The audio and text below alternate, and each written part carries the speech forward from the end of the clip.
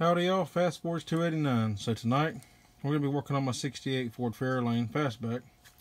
I'm changing the seat belts out because the previous owner put these cheap, you know. There we go.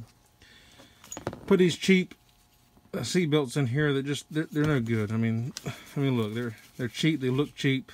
They don't, they're, they're not fastened well. It's got a freaking uh, safety pin in it for Christ's sake. So we're getting them out of here. So throw them away. And uh, not to mention there's the other side. And this side actually come loose on me. So that's that's real safe, you know. It's not, I mean, when you look at it. It just comes right apart. You can pull, this, pull this out of here like that. What's that's not safe at all. That come on loose, ain't no good.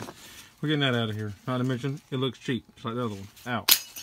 So what we're doing is, I pulled some seatbelts out of a Mustang, actually my Mustang for now, because it's just sitting there not working on it.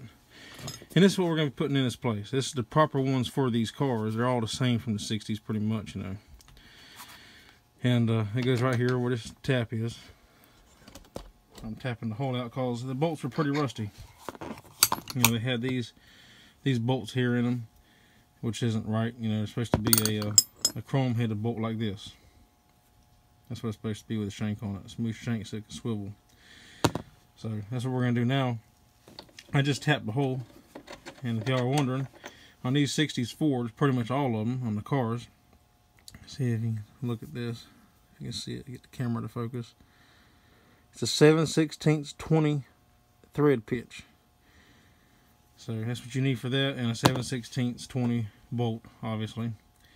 Uh, if you can get the right bolt, but you can, can, use, you know, just whatever you got, you know, for the time being if you have to. Like this does work, but obviously it's not right. If you tighten it down, your seat belt will not swivel. It'll just be stuck, you know, if you tighten it all the way down. So, um, I did already install that side. So that's done. Give you an idea, see what it looks like. So that looks a whole lot better. It's got some paint chips right there, you know, but they're old. These are 50, these these cars are over 50 years old. So it looks good though, a lot better than what I had in there. So I'm gonna get these bolted in and see how it looks when we're done. Okay, now we got that installed. Now we're just tightening it up. Last few turns here.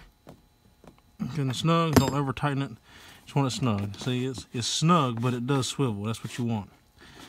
So that's perfect. Now we're done. Also, in case you're wondering if you're using the factory style bolt, it is a 13 16 In case you're wondering. And uh, it's done deal. Now we can uh, test out, see how it looks. Everything done.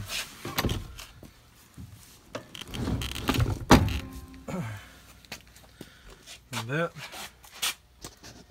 Sorry for the let me get my hands in the way of the camera. That's a done deal. See, it looks nice. It's nice and concealed. And there it don't stand out. It's not ugly. It looks good. And then on the other side,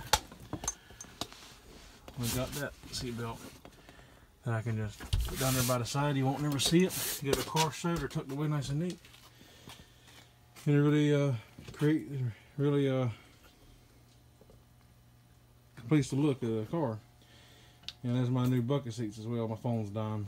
But new bucket seats look good in there too. Y'all comment below. Let me know what y'all think. And uh, thank y'all for watching as always. If you're not subscribed, consider subscribing. Y'all have a good night.